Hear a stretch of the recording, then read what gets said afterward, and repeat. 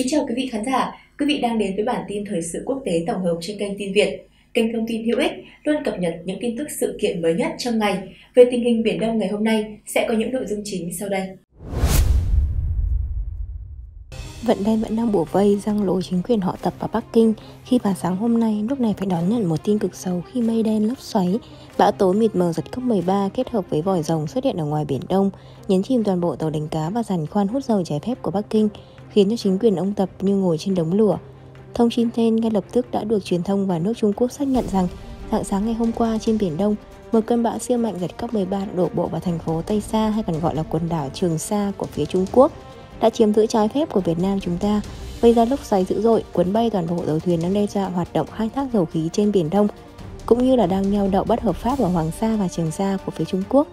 khiến cho cơ quan đầu não chính quyền của ông Tập ở thủ đô Bắc Kinh vô cùng lo sợ. Trước đó, cơ quan bảo vệ bờ biển Trung ương Trung Quốc cũng phát đi thông báo khẩn cấp, đồng thời kêu gọi người dân cũng như các cơ quan chức năng phải tìm nơi trú ẩn cũng như bảo vệ tàu thuyền của Bắc Kinh. Tuy nhiên, phía Trung Quốc đã quá chủ quan khi nói rằng Cơn bão trên đổ bộ vào đất liền nên không ảnh hưởng gì tới ngoài khu vực Biển Đông.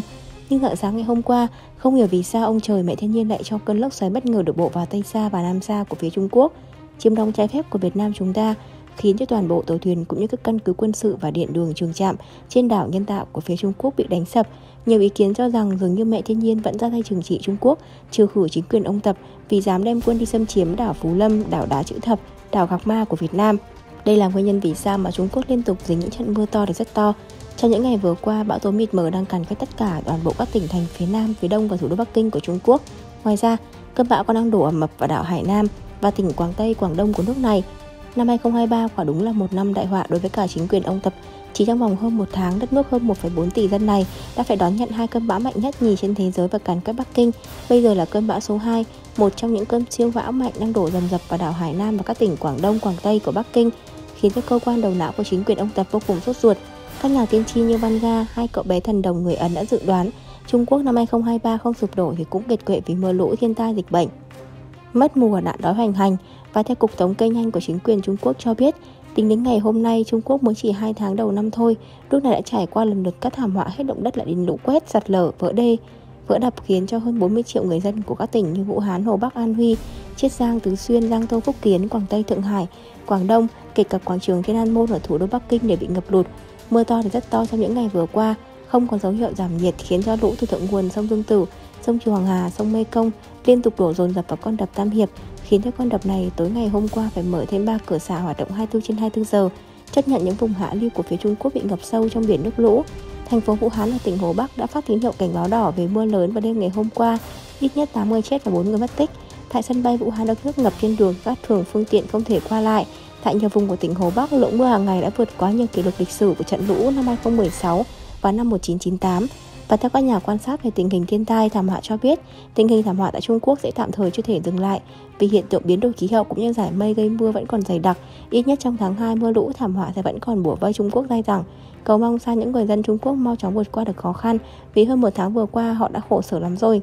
Theo thông tin mà chúng tôi vừa mới thu thập được từ những trang mạng xã hội như TikTok và một số tờ báo Trung Quốc cho biết, vào dạng sáng ngày hôm nay, Trung Quốc đã hứng chịu thêm một trận động đất dữ dội mạnh 5,1 độ Richter, tâm trần cách thủ đô Bắc Kinh khoảng 60 km. Trận động đất nên đã làm rung lắc mạnh những tòa nhà cao tầng đặt tại thủ đô Bắc Kinh và những vùng lân cận. Còn những nơi gần tâm chấn động đất nhà cửa ai cũng bị đánh sập bởi mưa lũ nhiều ngày qua đã khiến cho nền đất ở Trung Quốc đang rất yếu. Nay gặp những trận động đất là bị ung lở và khiến cho 30 ngôi nhà bị sập, hàng ngàn hecta hoa màu bị tàn phá, thiệt hại là vô cùng nặng nề. Không những thế, mưa to đến rất to vẫn tiếp tục rội hàng ngàn tấn nước xuống Trung Quốc. Và theo Trung tâm Kiểm soát Lũ lụt Trung ương Trung Quốc thống kê cho biết, tính đến ngày hôm nay, Trung Quốc đã vừa tròn 45 ngày đêm không có mặt trời. Bầu trời của Trung Quốc liên tục xuất hiện màu xám xịt u ám và đen tối. Nhiều ý kiến cho rằng dường như ông trời vẫn tiếp tục giáng những đòn đau thương xuống Trung Quốc để trừng trị chính quyền ông Tập vì những đường lối sai trái mà ông ta gây cho Việt Nam cũng như cho thế giới và dường như Đức Chúa Trời mẹ thiên nhiên vẫn chưa buông tha Trung Quốc.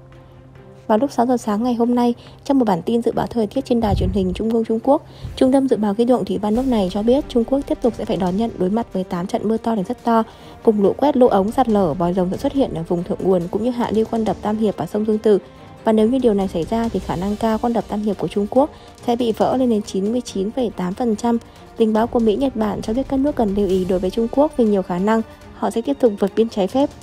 tràn sang để tránh trú khỏi con đập Tam Hiệp và nguy cơ lây nhiễm dịch bệnh rất cao bởi vì nhiều người dân Trung Quốc đang mang mầm bệnh dịch Covid-19 ở thành phố Vũ Hán. Đây chính là lý do vì sao mà nhiều nước trong khu vực cấm cửa đường biên giới phía Trung Quốc. Myanmar, một trong những nước phát danh với cả đường biên giới với Trung Quốc đã đóng cửa biên giới. Tuy nhiên, vào ngày hôm qua, truyền thông của Myanmar cho biết chính quyền địa phương của nước này đã bắt giữ được 13 người dân của Trung Quốc vượt biên trái phép. Họ cho rằng những người vượt biên trái phép của Trung Quốc đã sang đó để lây nhiễm dịch bệnh cho Myanmar. Ấn Độ, Triều Tiên hôm qua cũng đã dàn cảnh báo người dân Trung Quốc đang vượt biên trái phép rất nhiều. Vì thế, lực lượng biên phòng của các nước đang tuần tra vùng biên giới rất đông để kiểm soát người của Trung Quốc. Đây là những hình ảnh mô tả sức mạnh đến mức hung bạo của thiên nhiên và đây là quang cảnh của thành phố Đức Dương, tỉnh Tứ Xuyên sau nhiều ngày mưa lớn kéo dài các tòa nhà đủ dù lớn nhỏ cũng đều bị dòng thác bùn dữ dằn cuốn trôi đổ sập. Người đàn ông này vừa may mắn thoát chết khi được người khác kéo ra khỏi vòng nước giữ. Nhưng nhiều số phận khác cái may mắn hơn bị vùi lấp trong đám lở đất. Các nhà chức trách cho biết con số người bị tai nạn đã lên đến hơn 40 người, liên tục là những báo cáo có thêm người bị mất tích. Trong số đó có 12 người mất tích do bị lũ kẹt trên cây cầu bị nước lũ quật cẫy. Hàng trăm người khác bị mắc kẹt trong các tòa nhà, trong khi nước dâng lên ngày càng cao, thậm chí những phương tiện cứu hộ của các ban ngành cũng bị cuốn trôi. Đội cứu hộ cho biết đã huy động hết tất cả lực lượng sơ tán hàng chục ngàn người một lúc trong đêm vào các khu vực hứng chịu thiên tai. Tất nhiên, Trung Quốc đã có kế hoạch phòng chống lũ lụt trong mùa mưa, nhưng mức độ của trận thiên tai này vượt quá sức tưởng tượng của tất cả mọi người. Mưa lớn bắt đầu đổ xuống trở lại từ hai ngày trước đó, khiến đất bị nhão ra và hòa vào dòng nước cuốn trôi theo dòng chảy. Có thể phải mất rất nhiều ngày nữa người ta mới ước tính được mức độ thiệt hại. Song hiện nay các tuyến giao thông chính đã bị tàn phá nặng nề. Trong khi đó, những khu vực phải chịu những trận lũ lớn còn phải đối mặt với cả nhiều trận mưa lớn sắp tới. Tại Bắc Kinh vào ngày hôm qua đã có ít nhất hai người thiệt mạng và hàng ngàn người khác phải di tản sau khi nước lũ tan rộng tại thủ đô Bắc Kinh, Trung Quốc. Mưa nặng hạt bắt đầu rơi xuống thủ đô Bắc Kinh từ tuần trước và mực nước đang dâng mạnh lên từ ngày hôm qua khiến nhiều cửa hàng và trường học bị đóng cửa. Một người dân tại thủ đô Bắc Kinh nói với BBC rằng nước lũ tràn vào nhà vào lúc 3 giờ chiều ngày hôm qua, mực nước càng ngày càng dâng cao, nước dâng lên sự 3 mét trong nhà tôi. Chúng tôi không có đồ khô để mặc và hiện phải đối mặt với tình trạng thiếu lương thực.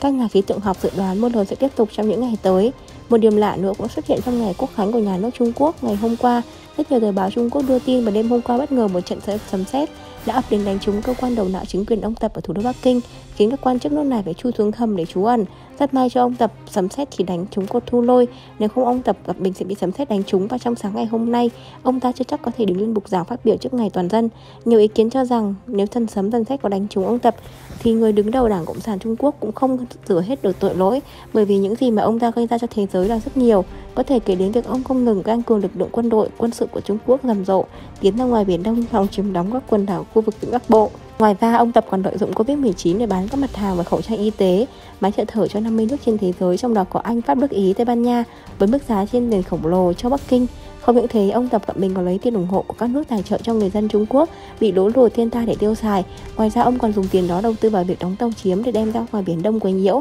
và còn rất nhiều rất nhiều tội lỗi khác. Chính quyền vậy ông mưa to, và tàu cũng như lũ lụt liên tục đổ dồn đập vào phía Trung Quốc, làm cho con đập Tam Hiệp lớn nhất của nước này có nguy cơ bị vỡ và khi nó vỡ, chắc chắn chính quyền của ông Tập sẽ bị xóa sổ và thế giới chắc chắn sẽ được bình yên. Theo hãng tin nổi tiếng của Mỹ mang tên New York Times hôm qua cho biết, mặc dù đất nước Trung Quốc đang bị tàn phá mạnh bởi lũ lụt và thiên tai dịch bệnh, tuy nhiên chính quyền ông Tập vẫn cho quân đội của nước này tập trận bắn đạn thật làm căng thẳng ở Biển Đông, đe dọa các nước trong khu vực cũng như thách thức các nước trên thế giới trong đó có Mỹ. Tờ báo của Mỹ cho biết một lữ đoàn của không quân hải quân thuộc chính khu miền Nam của Trung quân đội Trung Quốc đã tập trận bắn đạn thật, phóng tên lửa và dội bom ở quần đảo Hoàng Phú Lâm, sát với quần đảo Hoàng Sa của Việt Nam trong vòng 7 ngày vừa qua. Chưa kết thúc, đây chính là mối nguy hiểm đe dọa trực tiếp tới vùng Biển Đông, đặc biệt đe dọa tới nhiều nước trong khu vực, trong đó có Việt Nam. Hải quân của Mỹ, Úc ngay lập tức có mặt tại Biển Đông, Hải quân hạm đội Thái Bình Dương của Hoa Kỳ đã điều động hai tàu sân bay USS Nimitz và USS Bonhoeffer Richard mang theo rất nhiều tên lửa dẫn đường tiến ra ngoài Biển Đông, áp sát cuộc tập trận của phía Trung Quốc. Tuy nhiên, chính quyền của ông Tập bất chấp tất cả vẫn cho quân đội của Bắc Kinh phóng tên lửa bắn đạn thật, dội bom quanh quần đảo Phú Lâm để đe dọa các nước trong khu vực. Hãng CNN có trích dẫn lời của một vị đô đốc trưởng hạm đội Thái Bình Dương của Hoa Kỳ, ông Davidson cho biết, chúng tôi nhận định thật bất ngờ bởi vì lũ lụt thiên tai đang hoành hành ở Trung Quốc, nhưng chính quyền của ông Tập lại không lo cho người dân. Họ vẫn đang rất nhiều vũ khí sát thương tiến ra ngoài Biển Đông để thể hiện sự sức mạnh, cũng như trương quan đối với cả các nước trong khu vực. Trước đó, Bộ Ngoại giao Bộ Quốc phòng của Mỹ cũng đã lên tiếng chỉ trích gay gắt phía Trung Quốc và khuyên rằng Trung Quốc nên ngừng ngay những hành động được cho là gây mối nguy hiểm cho Biển Đông. Trung Quốc nên tập trung cho công cuộc phòng chống thiên tai dịch bệnh COVID-19, chứ đừng đem quân đội gây hấn gây hổ của các cả các nước trong khu vực. Nếu không, Mỹ cùng các nước đồng minh, trong đó có Việt Nam sẽ ra tay trừng trị Trung Quốc để trở lại bình yên cho Biển Đông. Trên đây là những thông tin tổng hợp chi tiết, những nội dung nổi bật trong ngày của tin Việt. Cảm ơn quý vị và các bạn đã chú ý theo dõi tới cuối video này. Mọi ý kiến đóng góp của quý vị, hãy để lại trong phần bình luận phía dưới để đội ngũ của chúng tôi có thể kịp thời hồi đáp. Xin chào và hẹn gặp lại quý vị.